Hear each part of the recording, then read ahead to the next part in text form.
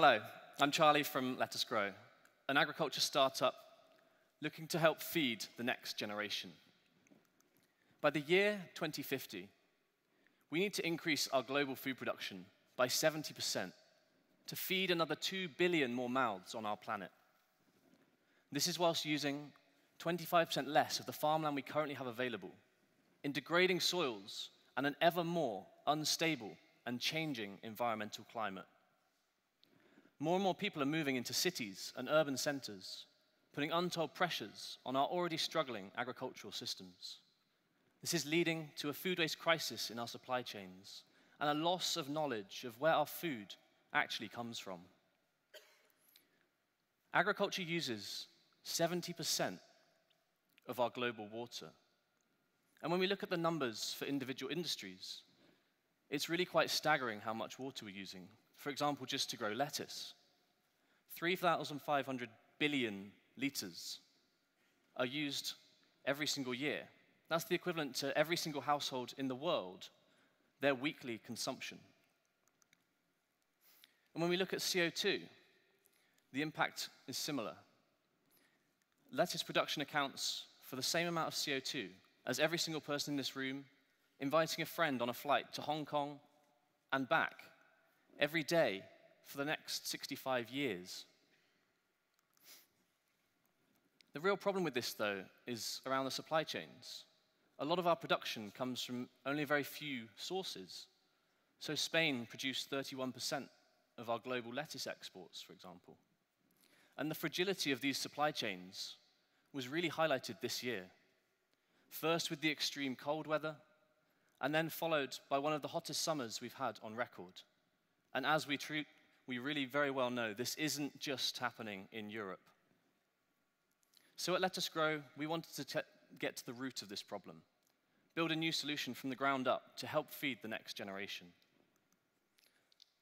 And our aim is to empower the next generation of indoor farmers by providing them with the tools, both physical and non physical, to help farm as efficiently as possible. So, we've been building a world class team of engineers, scientists, and biologists to help us on this mission. We've designed a whole new way to grow fresh produce using a technique called aeroponics, where the roots are actually exposed to a dense mist where they retrieve all of their nutrients. Growing these in indoor conditions all year round allows us to not have to use pesticides or herbicides in the production. And it means we can massively reduce the transportational cost of bringing your produce from your farm to your fork. So in our research centre in Bristol in the UK, we've shown up to a 95% reduction in water usage by recirculating our water and nutrients. We've shown that compared to the industry standard of hydroponics, our plants grow 150% faster. And for our farmers, we can show predictable and consistent yields all year round. And this technology is what we supply to farmers in the UK at the moment hardware and software so that they can farm sustainably. When you combine all of this, we can reach yields of up to 400 times that of a traditional field for certain crops. And you may be asking the question how are you going to feed the world with lettuce? Well, we're not. We've already grown over 40 types of different crop, including uh, strawberries and radishes, and we're now really focusing on these second generation crops fr for fruits and root vegetables as well that will actually help feed larger populations.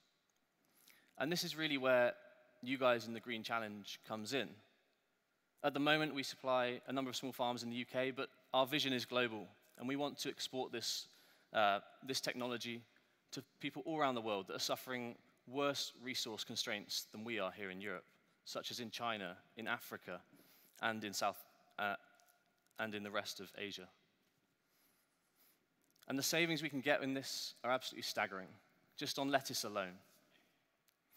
So, by, by building these indoor farming facilities worldwide, we can secure and safeguard our food production for future generations, improving the efficiency of our agriculture and allowing our natural ecosystems to thrive once again. Thank you very much for your time. Look forward to your questions.